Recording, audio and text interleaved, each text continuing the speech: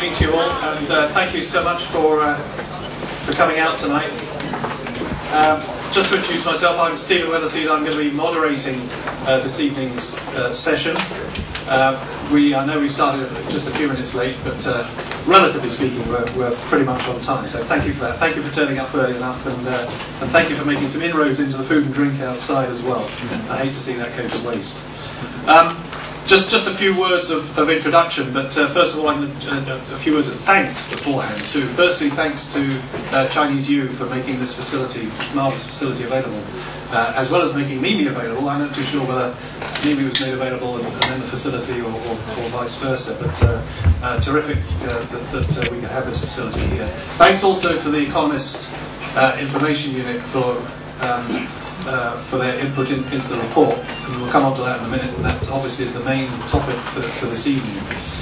Um, uh, thank you also to yourselves for, for turning up. It was um, when we, uh, at Mazars, when we embarked on, on uh, putting on this function, we weren't too sure quite what response we'd get. Um, but uh, it's been uh, extraordinarily, well, more than a pleasant surprise, it's been extraordinarily eye-opening, frankly, how much interest there is in this topic across a whole, the whole section, uh, the whole spectrum, if you like, of, of interests. And, and uh, as you can hopefully see and, and talk uh, among yourselves here tonight, you can see it's ranging obviously from the academic through NGOs, through government, uh, right through to, uh, to top corporates. So it really is spanning the, uh, spanning the interest. So th thank you also for coming because the, the format of this this evening, uh, Laurel, who I'll introduce in a minute, Laurel will, will introduce the report uh, for 15, 20 minutes or so. Uh, Mimi will then uh, follow on with some, some other comments, uh, bringing some of the issues uh, more closer to home. And then we will open the floor to, to Q&A. And I think, as ever, stimulated by the comments from, from the experts, it's, you know, we'll, we'll, hopefully get some very interesting Q&A which we can um, give us some more food for thought to, to take away. Um, the topic, the topic, of course, is not new. Um, you know, human rights. You know, I'm no academic, I'm just a humble accountant, but um, you know, I suspect all of us are, are, aware of the Universal Declaration of Human Rights as a, as, as a concept, and, and, probably many of us tend to reflect that uh, that's, that's something that, that uh, government uh, ministers and, and, foreign ministers, are, you know, it's their area uh, of interest.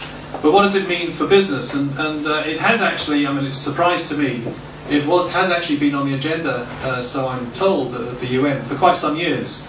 And it really came to more prominence, if you like. It came to more prominence with the publication just a few years ago of, uh, of a publication that some of you may be familiar with, but others may not, called The Guiding Principles. And uh, coming out of those guiding principles, which certainly raised the, the uh, um, level of publicity, if you like, of, of the relevance of human rights, what, what does business do sorry, what is, what is uh, how relevant are, uh, are, the concepts of human rights to business and what is, what is business's role as far as uh, human rights are concerned. And it put it firmly on the agenda uh, in, in the international arena. And uh, following that report, um, the, the uh, debate has continued and a further um, uh, guide, if you like, guide to the implementation of uh, some of the lessons coming out of that, uh, out of the guiding principles, was, was just published uh, two or three months ago, um, called the Reporting Framework. Uh, for those of you who've gone through it, but it's know, about 100 pages or so. Um, but but an easy read. It's, a, it's if I say so myself. It was sponsored by Grant Thornton, worked on by sorry, worked on by Mazars. Not that's a slip I shouldn't make. Um, worked on by Mazars uh, together with another organisation called Shift. Uh, and as we speak, um, the, the, the, reporting framework is being extended to the assurance standards to go with that framework to help provide assurance around uh, what does it mean if you, if you comply or not, uh, what kind of uh, assurance reports are going to go with it. So that's being worked on right now. So that's the environment we're in. Um, and just to add to the add to the piece, I know there are sort of one or two people here, or a few actually, uh, either consul generals or people associated with the EU here. Uh, and there was an EU directive that was finally signed off by the council uh, last year, uh, October, November last year, that is going to require um, uh, a lot of the very large companies, a lot of the large corporates in Europe, actually to start reporting uh, on their compliance in this area from about 2017, as I understand it. So it becomes far more relevant directly relevant, um, quite apart from whether it's, it's perceived to be a good thing or a, a worthwhile thing, if you like, for companies to get involved in. You know, certainly for companies operating in that part of the world, it, it, it gets even higher on their agenda. Enough of that from me. Let me just introduce our two speakers. Uh, tonight. We've got uh, from the Economist uh, Information Unit, uh, Laurel, Laurel West. Laurel, uh, Laurel's been uh, here in Asia for more than 20 years. Um, she's a director for the EIU, heading up their thought leadership program. she's responsible for their sponsored research programs here in Asia. And prior to her current role, she was a member of the country analysis team specializing in India. Um, so again, very relevant, I think, to some of the issues we're likely to, to touch on tonight. Uh, her current role covers Asia from Australia to India and, and covering a wide range of topics, uh, most recently consumer markets, environment for internet-based business, and women's role in corporate Asia. So, boy, there's another spectrum. Um, our second speaker, uh, Mimi, Mimi Zou, Professor Mimi Zou, sorry. Um, Mimi has a, a five-page CV. I'm not going to read it all out by. Uh, you'll find it online. Um, but uh, joking aside, it's extremely impressive by anyone's, uh, anyone's standards. She has degrees in law, economics, and social sciences from a variety of universities. I'm not even going to name them because it just goes on too long. Uh, and, but her current roles, and, uh, sorry, she's also a uh, uh, she's a, she's a, practicing solicitor, admitted both in England and Wales and here in Hong Kong, and um, and, and, Australia. I think I, too many of really. Um, uh, and Mimi is uh, part of the CUHK law faculty here, uh, which she joined just, uh, just last year, with uh, research and teaching interests in areas of Chinese law, the legal system, international business law, employment law, contract law, immigration law, and elder law. Um, she teaches the legal system of the PRC, China contract law, blah, blah, blah, blah, blah. So, covering all of that. Probably more of, of even more relevant, she, she is an associate director for the Centre for Rights and Justice at the faculty here, and uh, also a member of the advisory board of CUHK's Centre for, for Bioethics. So, um, hopefully that's established Mimi's credentials, um, and we look forward to her comments as well. But without further ado, I've certainly spoken long enough. Let me uh, pass over to Laura if I may.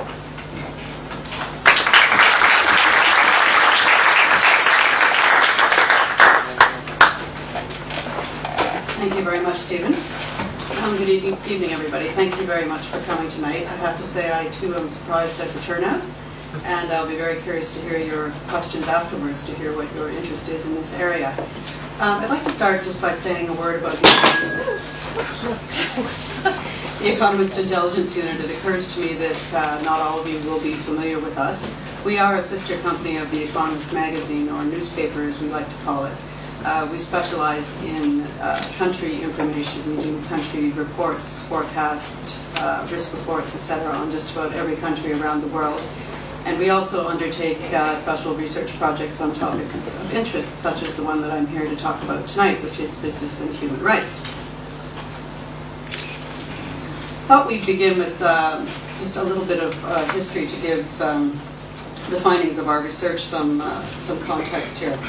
So I believe that most of us, when we think about business and human rights, we tend to think about it in a modern context, uh, looking at events like the terrible tragedy that happened in Bangladesh with the collapse of the Rana Plaza factory building, or stories that we hear about how our running shoes and iPhones are made in China. Um, but the discussion about human rights in business actually has quite a long history.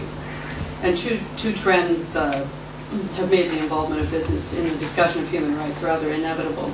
The first is the spread of aspirational statements followed by legal instruments promoting respect for human rights. And this started with the UN's Universal Declaration of Human Rights in 1948, and there have been dozens more since then. As you can see from the slide, there are something like nine core UN human rights treaties and eight optional protocols signed since 1965.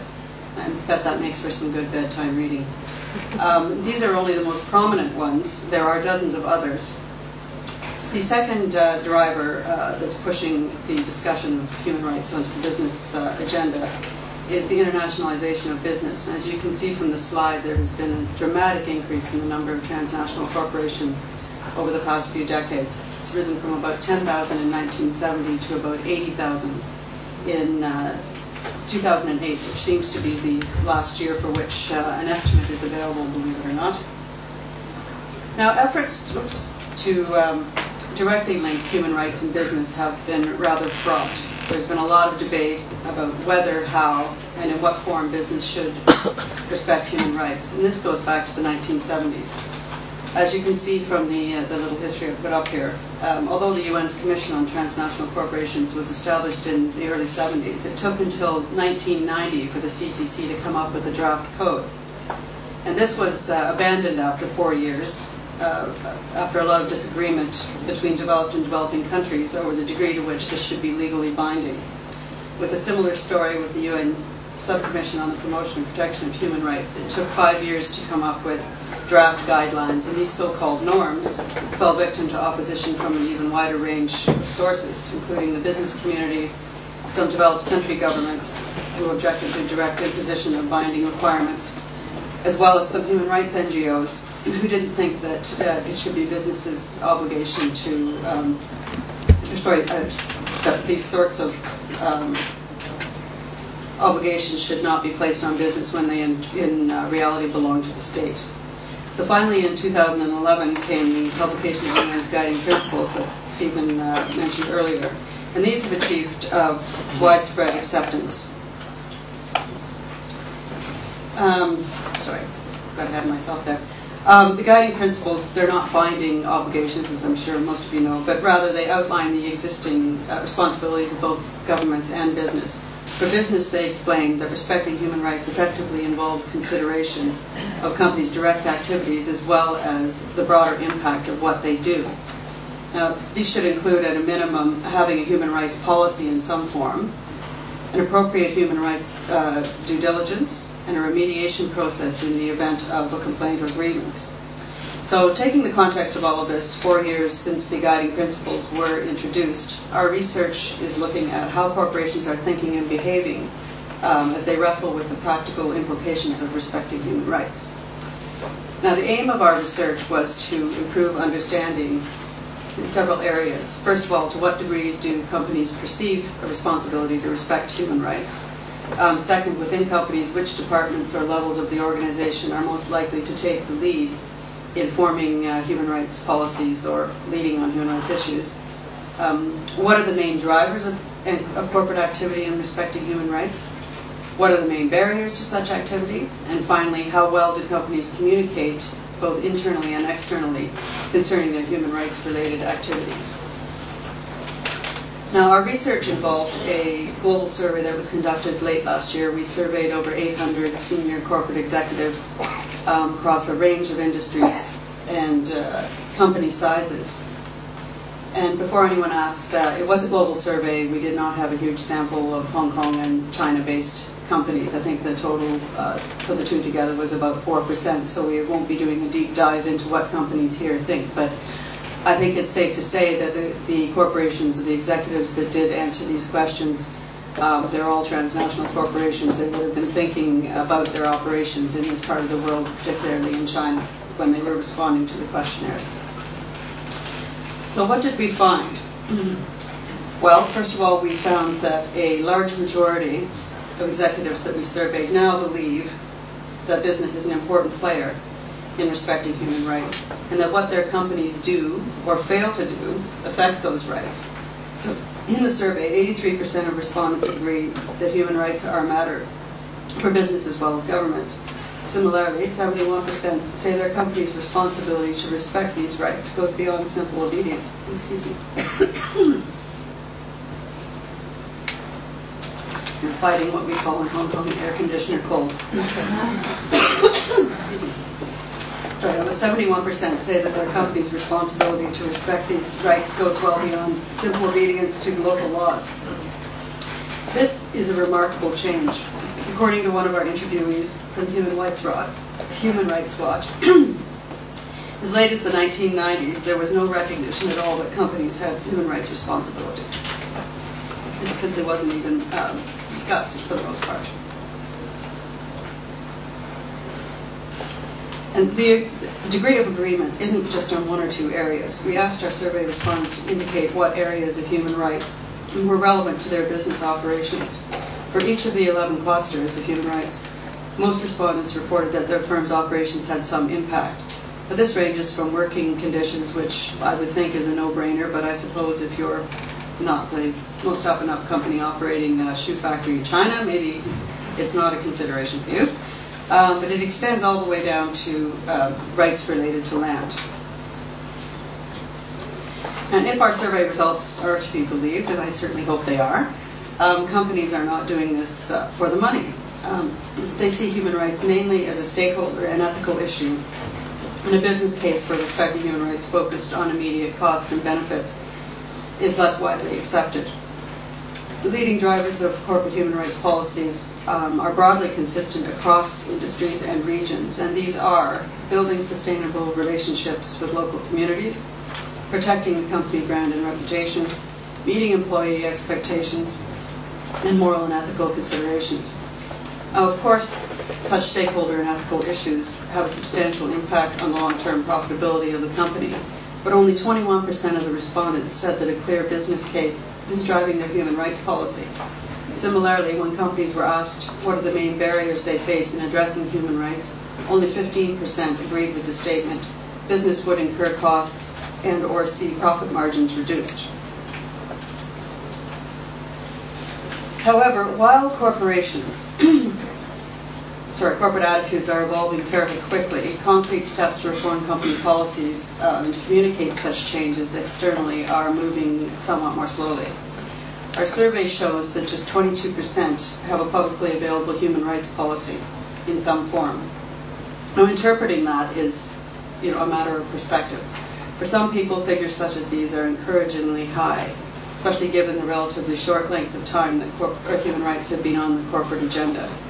Uh, as the government relations manager of Anglo American, who was interviewed for this report, puts it, big corporations need time to change, processes take time to change, it's just reality. But other people focus on the gap between the proportion of respondents willing to acknowledge the importance of human rights to business and the smaller proportion saying that they have taken action our interviewee from Human Rights Watch, for example, says that, quote, a lot of companies don't do these things, and he sees no real shift in the business environment. So I suppose it's only time will tell whether, you know, all of this good intentions are, are translated into actual action. Now here you can see that um, there are a few companies who are yet to, who are yet at a stage where they're communicating the human right, rights policies externally just over one-fifth of the companies do not communicate about their policy either internally or externally.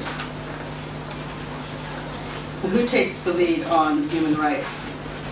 One would think it would be an issue for the C-suite, but as you can see from this chart, only 44% of our respondents report that their CEO takes the lead. What I'm not showing here actually is that 37% of the respondents said that nobody takes the lead. that um, is actually is not great news, as I think you would agree. Um, what probably is more inspiring is the fact that human rights activities seem to be integrated into a wider range of departments. Beyond the leadership role, uh, our research showed that at over 50% of the companies surveyed, there were at least seven separate functions involved in this area. According to our interviewee from Coca-Cola, this is uh, this is the, the, gold standard here. Uh, at Coke, human rights governance comes from their global workplace rights group, but in reality it requires input, um, the input of and cooperation from a number of departments and functions, including procurement, technical, legal, public affairs, and enterprise risk, just to name a few.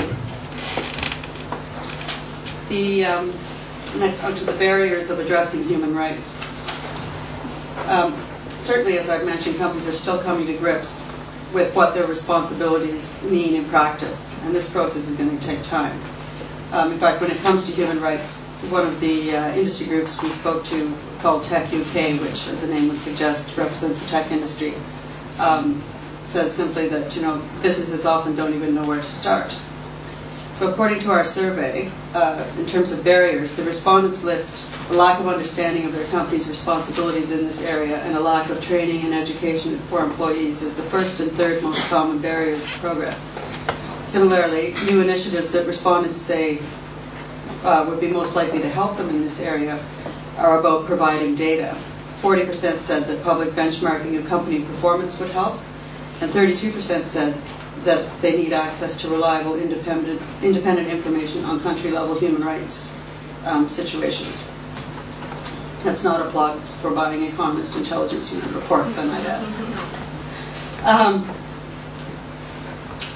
for many companies, the, uh, the issue of coming to grips with the human rights issue in terms of what it means for their companies is enormously complex. I mean, even for companies like Coca-Cola, um, excuse me, which uh, is well experienced uh, in this area, uh, the challenge is really just staggering. I mean, to just look at their issue of procurement, if they want to really be able to understand that and control it, Coca-Cola needs a detailed overview of the supply chain that involves 30 agricultural commodities in 207 countries. You can imagine what that entails. Um, there are also a range of organizations that are seeking to address human rights policy on an industry level so that they can advise their, their members. And our report looks at two such efforts, one in financial services and the other in technology. Um, Tech UK, the industry group that I just mentioned uh, a minute ago, has been working to educate its members on the fact that due diligence in sales involves not just knowing one's customers, but knowing the political and legal contexts in which they operate. But companies lack, lack access to um, such data which helps them understand these contexts. Um, the other group that we uh, discuss in our paper, the, the Thun Group, was an informal collection of banks, and they actually uh, formed even before the guiding principles were introduced. Uh, they pointed to the same issue of um, complexity and point out that the, the problem is even worse for financial institutions because respect for human rights can mean one thing to the investment banking division and quite another thing to the retail operations within the same institution. And they have suggested that um, consulates could play a much greater role in providing companies with information on the ground. And I was thinking that it could be a great opportunity for the dozens of graduate students who come knocking on my door about this time of year looking for, uh, for work, mainly having graduated in the international relations or international affairs field. and I always wonder where they're going to end up. Um, the same uh, financial services group has reported greater engagement with NGOs, which until very recently was something that just wasn't heard of. The two sides, uh, in my experience, seem to be at war with each other. Um, and also, they're engaging a lot more with governments who are keen to understand how they're interpreting the guiding principles so that they can take this into consideration when they're formulating their own national action plans. Um, in our research, we also identified the leaders in terms of corporate action on human rights. And by this I mean companies that believe that they are ahead of their competitors in terms of human rights policies. Um, this group accounted for about 25% of the survey sample. Uh, even these leaders acknowledge that they still have a lot to learn, but they do have several things in common. First of all, they have internalized uh, respect for human rights. 52% of this group say that moral and ethical considerations are the leading factor in their human rights policies, and this compares with just 39% of, of, other companies in the sample. Um, they're also less likely than other firms to say that their corporate culture is a, is a barrier to uh, acting on human rights issues. They tend to have senior leadership actively involved in human rights issues, and unsurprisingly, they are more likely to have um, human rights policies that are communicated both externally and internally. Where they are similar to the other companies, however, is inciting a lack of understanding um, as a barrier to further progress. This is not because their efforts have not failed to bring knowledge. It's quite the opposite, in fact. Their efforts to understand the issues has just led them to understand how complex they really are. And finally, um, our research, of course, uh, raises the question, is business doing enough? Um, as our interviewees pointed out, and I've, I've said several times now, this is a complex issue that takes time for companies to really get up to speed on. But at the same time, there are some parties who feel business definitely is not moving fast enough. Uh, five countries have already introduced national action plans on business and human rights, and another 18 countries are, uh, have such plans under development. There is also another resolution before the UN Human Rights Council to begin negotiations on a legally binding international treaty uh, of course, this is very controversial and raising the usual um, issues in terms of uh, what should be legally binding and what's not. But very interestingly, 20% of our survey sample thought that this would be a good thing that would actually help them. So with these things going on at the moment and, and the um, policies that Stephen made reference to, it's not difficult to imagine that if companies do not change sufficiently and do not do so quickly enough, that we could return to contentious disagreements about imposing more restrictive uh, regulation or indeed that such regulation comes into force in the near future. And I will leave it at that. Thank you.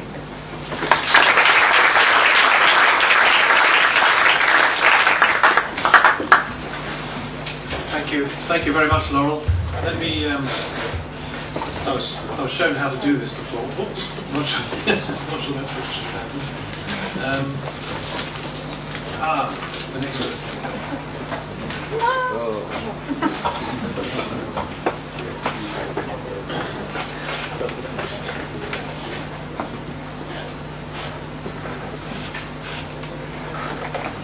Okay, thank you. That, uh, don't worry, that's purely backdrop. Um, let, let, let's now, without further ado, pass over to Mimi for her comments as well. Thank you.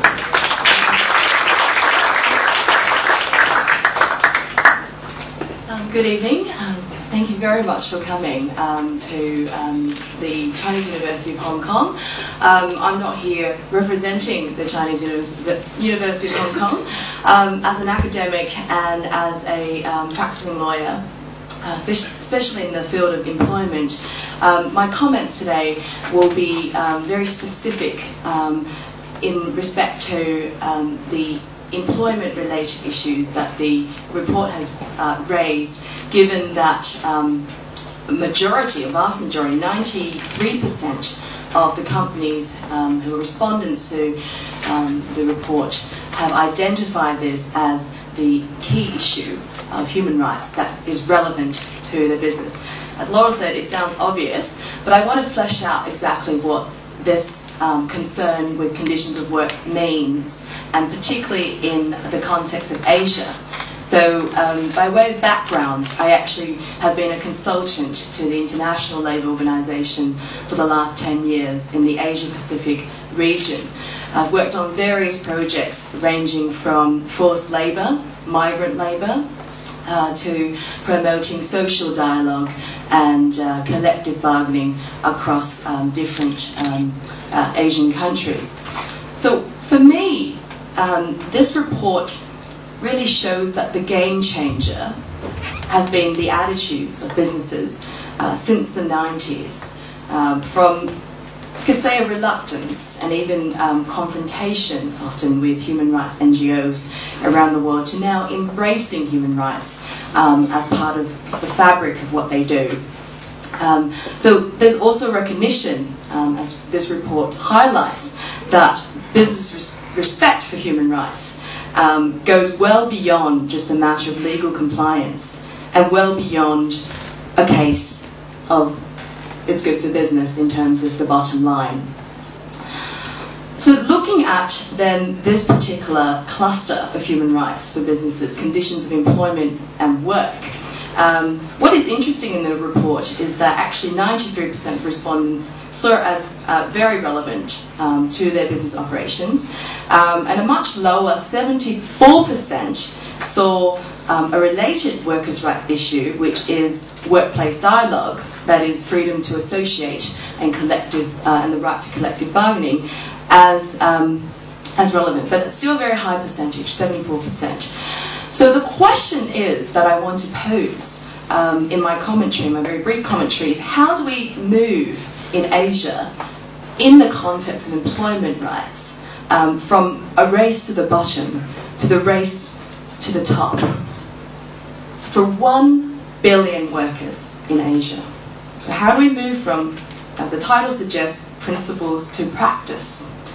Just, just offer some my, before offering some of my suggestions, um, I think we need to put it in context. And as Stephen has highlighted, what's really important about us launching the report tonight uh, in the context of Asia is um, for us to highlight, um, you know, some of the, you know, hot issues um, that businesses, transnational companies operating in Asia face. And so for me, obviously labour has been a very important issue over the last few decades. Um, Asia is often considered a sweatshop of the world. Um, just some statistics from the International Labour Organization. One million workers in Asia die every year from work-related incidents, injuries, or diseases. More than 120 million of Asia's workers are children. 120 million out of 1 billion. So the last two decades we've seen really high, very visible kind of um, consumer-led campaigns in the West um, towards very visible companies like Nike, um, all the way from the 1990s. Um, for those, some of you who are my students may not remember um, back then, um, but during that time, um, some of you may remember now, Gap, Nike, a lot of the big um, apparel uh, manufacturers face a lot of pressures with respect to them having this image as running sweatshops across Asia, from India to China and Bangladesh.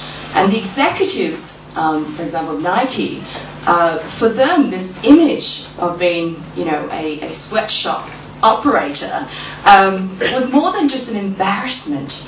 Um, because actually it threatened sales um, because um, consumers perceived um, you know these companies as you know the, the brand and reputation was destroyed and so I guess in that sense you can say there was a pressing business case uh, for them to address these issues. We do then move on to more recent times. Um, it's not just the apparel uh, manufacturers um, that are subject, and their retailers, that are subject to this sort of consumer scrutiny.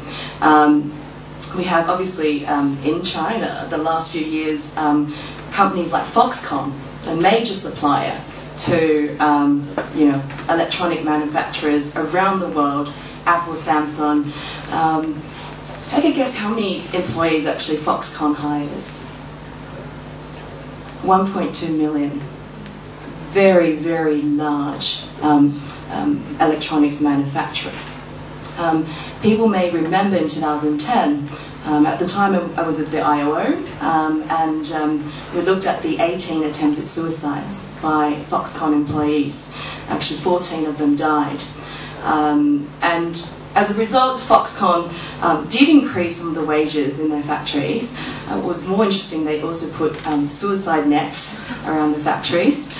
Um, in fact, I heard um, one of my uh, contacts um, who were, was in Foxconn was saying they were also inviting uh, Buddhist monks to come into the factory and offering prayers for the workers. and Oh, also, um, employees were also asked to sign no suicide pledges.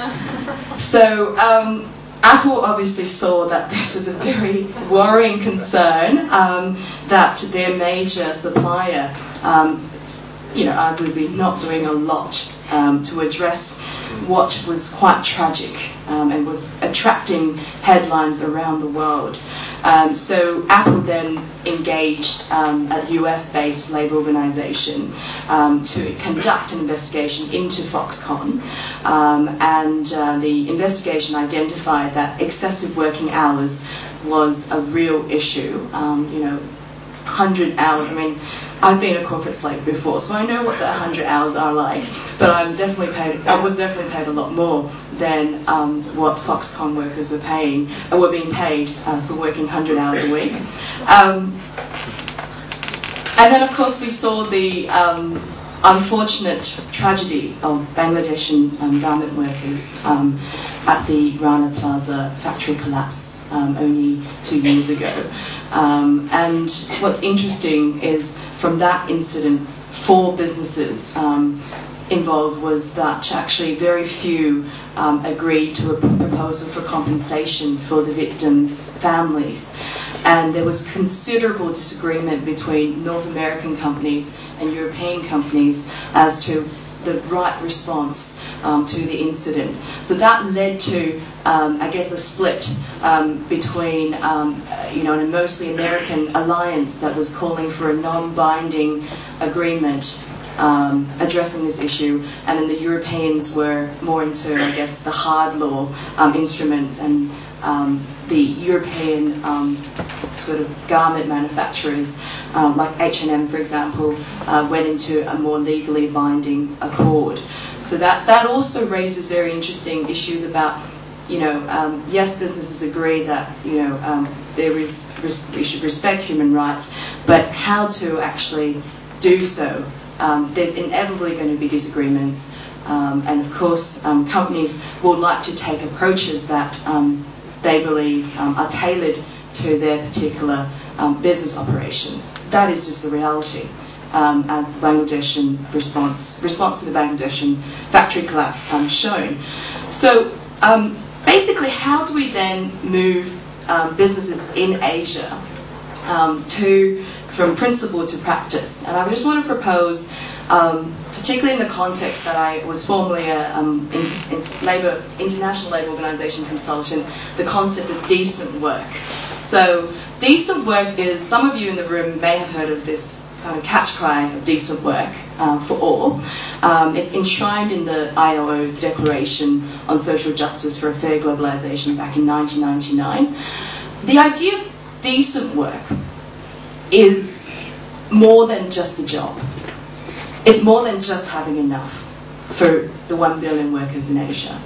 It's about real opportunities for women and men in Asia to obtain decent and productive work in conditions of freedom, in conditions of equity, security, and human dignity.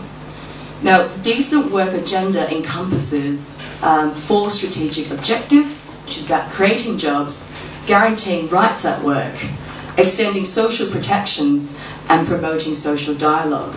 Now these objectives, um, you may think, well, what about creation of jobs and extending social protections? If you're a neoclassical economist, you may think that they might not be very compatible. But um, the ILO considers these objectives to be inseparable, interrelated, and mutually supportive.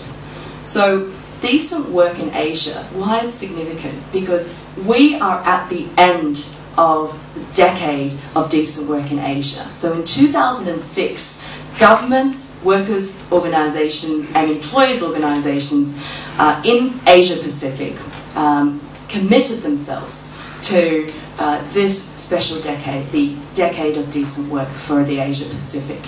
And so this is the final year of this commitment um, I won't go into whether things have been achieved, but um, a good measure of whether decent work um, has been promoted is to see um, how many countries have signed up to the fundamental core conventions, uh, which I refer to as the ILO's fundamental principles and rights at work. And this is the starting point, in my view, for businesses in Asia to tackle labour issues. The fundamental principles and rights at work um, by the um, ILO consist of first, the freedom to associate and organise, which protects workers' rights to independently form and join trade unions of their own choosing, and the freedom to bargain collectively with employers. Second, eliminating all forms of forced or compulsory labour. Now, for businesses, often the line between very poor working conditions say in your factories of suppliers, um, and forced labour can be seen as a continuum. It's really difficult to draw the line. What I can say is that at the moment, governments around the world are paying a lot of attention to issues of modern slavery and forced labour.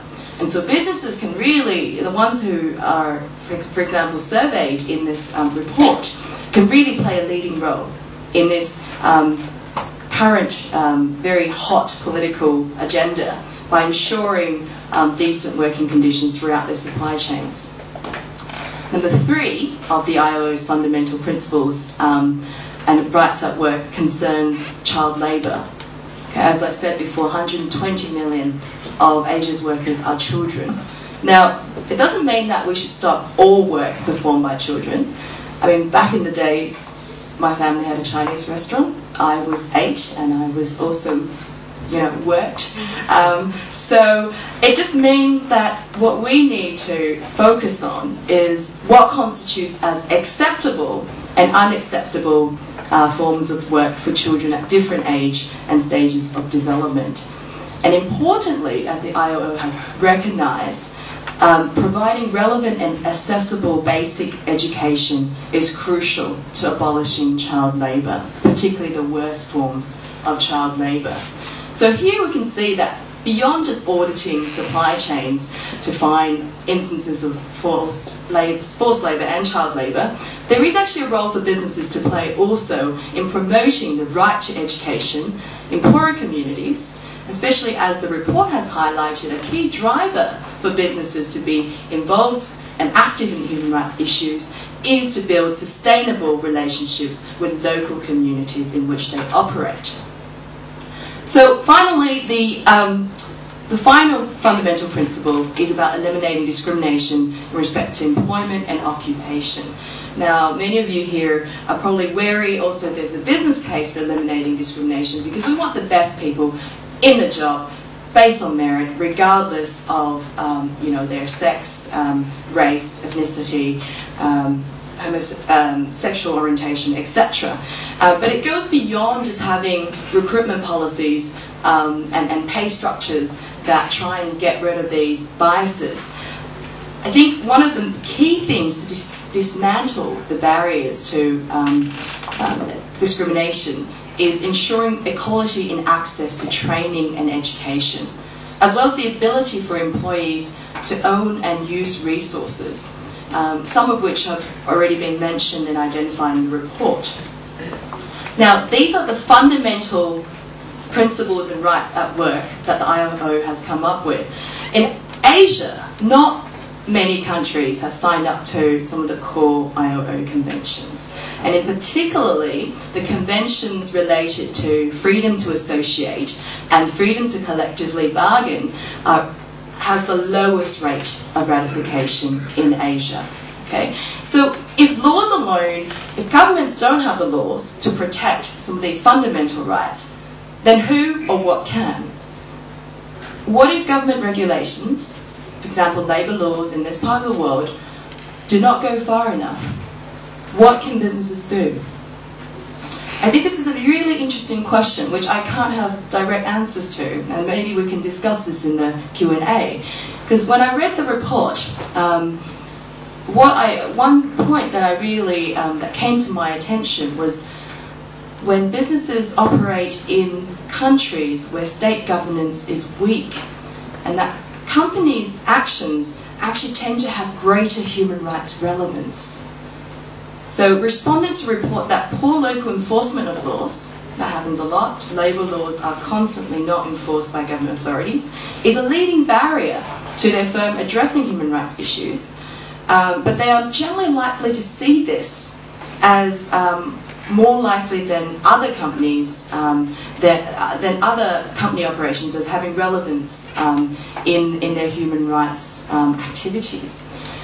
So basically, kind of conclude, we, am I just, is this report only talking about the big visible companies like Coca-Cola and Apple? Um, big business and human rights cuts across all um, companies, whether they are very recognisable brands um, or they're really big, you know, Fortune 500 companies.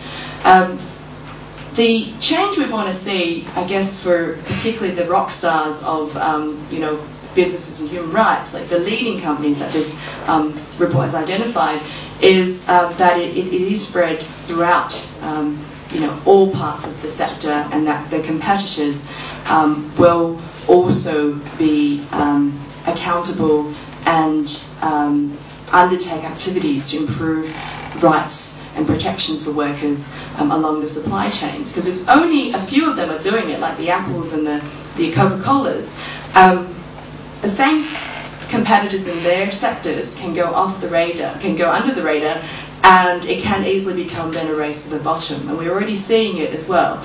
Um, some of the dodgy companies um, that um, you know don't see human rights as relevant to their activities and want to outcompete um, sort of the leading companies on price particularly in manufacturing, are moving to Bangladesh, Cambodia, and Sri Lanka. They're moving away from China because um, there's been new labour laws and also um, generally wages have also increased in China over the last few years.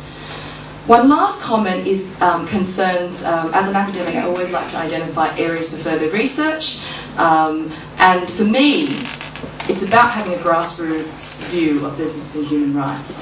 I think the report has focused very importantly on the view at the top um, because you know we are interested in what senior executives and corporate leaders um, are thinking about human rights, and it really you know initiatives really have to come to the come from the top.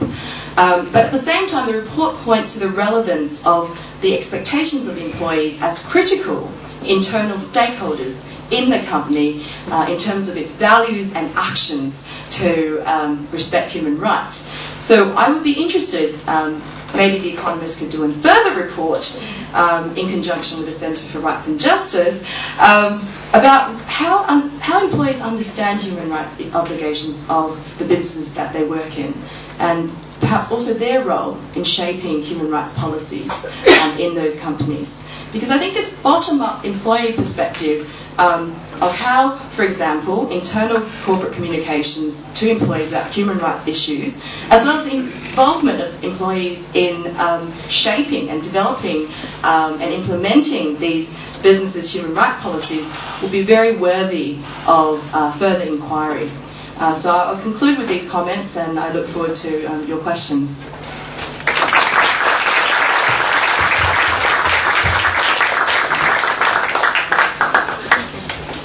Thank you. Thank you very much, Mimi. Uh, now we move on to, uh, to Q&A. Um, I think, yes, we've got some microphones over here uh, if you don't think you're going to be able to be heard well enough in this, uh, this auditorium. So please, if you uh, kindly raise your hand if you've got uh, questions, points, contributions. A young lady over here. Thank you. Back on the right. Thank you. If you kindly say, uh, just give your name and who, where you're from, just so. Okay. Uh, I'm Suki from Amnesty International, and uh, I was the former director at Labor Action China. So um, my questions come from my previous 10 years experience on the ground on the labor activism in China. So you mentioned about having a grassroots views about how the um, human rights can be implemented in business. But from my past 10 experience on the ground, um, we have so many frustration um, that uh, most of the companies actually they would like to deal with the easy issues like um, we have seen a lot of significant changes and improvement in occupational health and safety, wages, or discrimination on child labor. However, when it comes to the very fundamental labor rights such as trade unionizing, collective bargaining, and freedom of association. I can, I can say most of the companies, particularly the transnational corporations, are very reluctant to handle or to deal with this issue with the workers as well as with the civil society organizations. So, so I would like to, to, to know, I mean, how far can these soft laws or even the international treaties such as the OECD guidelines can really be implemented to empower workers or employees to exercise these fundamental human rights. Um, and I, also, I would also like to see, I mean, the, what are the real commitment of the international companies when it comes to like the, the um, major labor uh, or human rights violations. For example, when we uh, identify the, the violations of Foxconn, they sent a letter to sue, sue me, actually sue my organization for defamation. And, and I sent a letter to Tim Cook, and Tim Cook say, we don't want to talk to civil society organizations. So I would say there are so many frustrations we have seen, I mean, yeah, on the ground. So I would like to see how we can bridge the gaps and the, and the loopholes in the process of improving the CSR practices. Thank you very much. Okay, thank you for the short question. Um.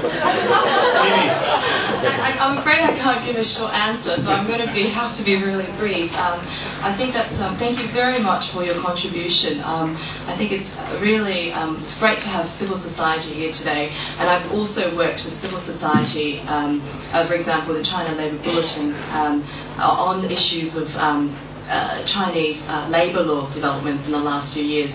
So it's always great to get, you know, a very honest and frank perspective that you've given us on actually the um, the stickiness of certain issues like um, free free uh, right to join free trade unions and also um, the right to collective bargaining in the context of um, multinationals. I can only say um, my pers my perspective is, is really more familiar. I'm more familiar with the Chinese context, um, where trade unions play a very different role to Western trade unions. Um, so, um, in a previous role, I was doing a lot of research on human resource um, strategies of companies, and um, one of the companies is a massive um, Asian automaker um, who operates factories, auto assembly factories in China. And they're, they're used to trade unions back in their countries being very militant. When they come to China, they were really scared of actually dealing with any sort of trade unions. Um, and, and the same you could say for like Walmart and KFC, because those American companies um, have traditionally been very hostile to trade unions. Um, when they come to China, they realize actually our trade unions are a bit different. Um, you know, we are, I think Stephen's comment about being attentive to the sort of political social context of where we are is very important. Chinese trade unions is part of the party state. Okay, so I can understand some of your frustrations because I have friends who are labor activists who are like, well, actually workers in China cannot belong to any other trade unions is the ACFTU, the All China Confederation of Trade Unions. And so obviously that um, China hasn't signed up to Convention um, 87 or 98 because Freedom Association, which is Convention 87, is essential for collective bargaining, um, which is Convention 97, to be effective. And so um, these multinationals that I've um, interviewed um, have said, well, you know, we have to work with Chinese trade unions because often, say they have a joint venture as well, then you'll have sort of a very funny management structure where trade union bosses are also HR managers and they're also on the management committee. Okay, so it's a very different scene of industrial relations in China, um, and um, you know that's why I see a really important role for civil society to be involved because trade unions in other countries have traditionally been the voice of workers. Um, it's hard to say that they um, not that I'm saying that ACFTU isn't doing a great job lately of trying to promote, at least on paper, a lot of collective agreements, because you know they have like millions of collective agreements in China. But obviously, there's a difference between numbers, which Chinese are very good at, and then actually what is uh, in practice. I those agreements I've looked at many of them. They're just a replica of the labour law. So collective bargaining, the whole point is to get, you know, race to the top. It's like trying to get better wages and conditions than the minimum um, required by law. But yeah, having looked at lots of these um, collective agreements by Chinese unions, um, you know, it, it, I don't have a lot of hope. Um, so civil society can definitely play a bigger role. And um, yeah, I'll stop there because Laurel might want to say something. I was just going to say uh, in sympathy that Apple doesn't speak to the media either, so. I was, I was just going to add that uh, as a result of, uh, some of you may have seen, as a result of last week's uh, election in the UK, the, uh, the new government in the UK is, is, is announcing an even greater tightening of the uh, right to strike and right to collective bargaining in the UK. So uh, it, it, it, it isn't unique to this part of the world, I think, some of, this, some of the attitudes that are, that are prevalent. Any other points? Yes, please. Sorry, and, and my, my comment earlier, Suki, thank you so much for your contribution. I, I, shouldn't have been naughty with playing around. Please. Uh, hi, my name is Galvin Chia. I work at the Fung Global Institute, a think so neither a practitioner nor a theoretician, just someone who's interested, I suppose. Um, in, in, your surveys, I suppose, of, of these executives, as well as of the literature and of the, the sort of 10-year sweep that you mentioned, to what extent have these changes in attitudes been uh, either a, sort of driven by the executive, driven by the C-suite, or B, have relied on civil action, civil society naming and shaming? It's a chicken and egg question, but in, in, how do you see the relationship between those two forces? That's a very good question. Um, I think it's been a combination of factors. I think that um, the attempts to promote the uh, and disseminate the uh, the 2011 guiding principles that were introduced um, has had an impact, but I think also uh, the media attention that has been um, focused on events that have happened in the past few years, um, some of the, the tragedies that we've all mentioned here tonight, I think has probably had a, a force, and I think it's just, it's come on the agenda every way you look at it. Um, it's something that people know about and talk about, and I think companies have to think about it. I think, um, sorry, I was just going to supplement to that. I think there's also some, some, some pressure. I'm not too sure what the numbers would be, if you like, from, from the bottom, if I could call it that. You know, with, with whatever you want to call it, Gen Y or whatever you want to call it, from genuinely from, from the bottom, where I think M, the C-suite are, are recognising, you know, messages coming coming through the workforce saying actually some of these things are really important. They're important to us. If you want us to work for your organisation, you need to do something about it, please. Uh, and actually, I only want to work for organisations that are like that. And uh, you know, I think you've, you've, you've, there are a number of um, you know, Mimi can probably reel off as to the organisations that, that have taken those attitudes, and whether it's to do with, with uh, you know business and human rights, or whether it's to do with other aspects of, of the environment or, or, whatever, different aspects of, of our everyday life, not just not just money making. Yes, please. Thank you. I'm Sharon Hom. I'm the uh, Executive Director of Human Rights in China. We're based in Hong Kong and um, New York. Um, and we've uh, really focused for 25 years on ways to support civil society in China and also the development of standards and international human rights standards and having input into that and really promote the implementation and realization of that within China, within the system, within the legal system, within, you know, et cetera. And this conversation, I want to thank both Mazars and the uh, Commons for creating space to look at this question. Um, I think it's actually before the 90s, but it's, you know, a lot of tension on this issue is in the 90s. And I want to urge um, the next part of the road, thinking, because it's a long road, um, I would like to urge that whether it is the design of new research, uh, the production of knowledge, as it were, so that we can knowledgeably figure out where we're going, how to go, if to go, and whatever. And the standard setting process and the implementation and training, which was you know, identified as an issue, and in monitoring that uh, it's not to try to engage civil society more or to talk to civil society more or listen to the you know, grassroots more.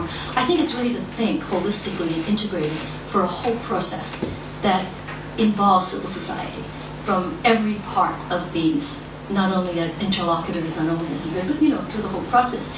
And I would just want to put a plug here for um, the model that's being developed by the Global Network Initiative, of which we are one of the founding uh, member NGO members, uh, along with Human Rights Watch, along with Committee to Protect Journalists and the Human Rights Committee. But that multi-stakeholder approach really thought about how do we develop standards that are sectorally specific and useful. And then where we've learned you know, is that it's very difficult to develop that with these different stakeholders, but that's the only shot of having them mean anything and having them, you know, be useful. But that's for the ICT sector. But the stakeholders were not civil society and business. The stakeholders were major and different size ICT companies, the biggies, Google, Google, Yahoo, Microsoft, and then Facebook has joined us, and you know, and then small companies, startups, etc but it's socially responsible investors. That made the huge difference when big pension funds came in, and etc. And we work very closely with large auditors and auditing firms and all these different kinds of expertise and experts. So I, I think it's not a one-size-fits-all, it's not the silver bullet, but I think the approach is right to have an inclusive, full range of full participation and then I think we have a lot to learn from each other, and it hasn't been easy the last seven, eight years. It was a really hard process, and I don't think it's perfect, but I think at least we're trying to do it together. Thank you. Thank you, Sharon. Um, just, just to sort of add on to that, um, I did mention um, for those who've waded through the 112 pages of the uh, reporting framework that came out just a couple of months ago, complete with implementation guides. Actually, it's, it's well written, I think, in, in my view. It's, it's written in, in pretty plain English, if you're a native English speaker. Um, but, the, uh, but, but interestingly, to pick up on your point about investors, um, I, I saw from, from a, uh, uh, I suppose one, one is to trust this, but um, from, from a press release that went out with, it, with this report, that 67, I'm quoting here, 67 investors, so this is professional investors, exactly the kind of pension funds, etc. you're talking about, 67 investors representing nearly $4 trillion US dollars of assets under management have signed a statement of support for this reporting framework. And uh, I think a number of companies, half a dozen or so, uh, companies from five different industries are early adopters of these, of these principles here um, including Unilever, who was the first, Ericsson, H&M, Nestle, and Newmont. Newmont's a mining, big mining US uh, mining company. Um, so, I mean, it's small steps, I guess, but, but things are starting to happen. And as I say, I think as the as the assurance standards, which are, you know, will will provide the, the wrapper, if you like, around the reporting standards. I know this all sounds a bit rather boring and technical, but these are really essential to getting to getting getting us exactly where you're talking about. But those assurance standards are currently uh, uh, you know currently being drafted and and uh, will be exposed, as I understand it, about this time next year. Um, so that'll start to you know accelerate this process hopefully because I think a lot of companies are finding the feedback from these. We, we've had similar um, sessions to this in, in uh, London, in, in Paris, in Geneva, in New York, and just last week in Washington. And, and one of the main issues typically that has come out from there is, well, this is terrific, but what happens next and how do we go about it? And, and particularly for a corporate, you know, how, how do we learn? How do we get information? What do we do now? And, and that, I think, is the main, uh, perhaps one of the main findings that came out of the research by the EIU, while, while you've got this very significant interest by corporates, business, in what does all this mean for us. Yes, we're very interested, it's high on our agenda, but then what can we, what can we do about it? And, and so there's this, this uh, uh, mismatch, if you like, between, it, it, it's, a, it's a high uh, priority as far as the action list is concerned on, on the C-suite agenda, but in reality, what practically they, can they do about it? You know, so there is a big demand, if you like, for education, training, uh, and, and, guidance, whatever wording you want to use, in order to take uh, and accelerate this to, uh, to another level. Sorry, enough from me. I'm supposed to be facilitating, not preaching. any, any other questions, contributions? If not, I know we've run over time a little bit, but uh, thank you so much for staying, and thank you again for coming. Uh, it's been really, uh, really interesting, and thank you to